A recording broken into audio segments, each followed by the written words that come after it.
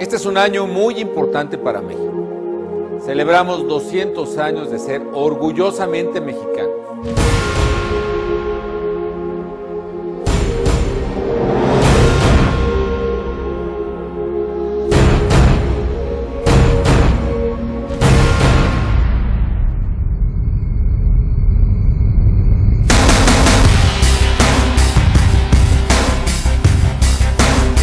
Los últimos días, el país entero ha enfocado toda su energía a hacer frente a un virus. Un elevado número de personas contagiadas y también un gran número de personas muertas.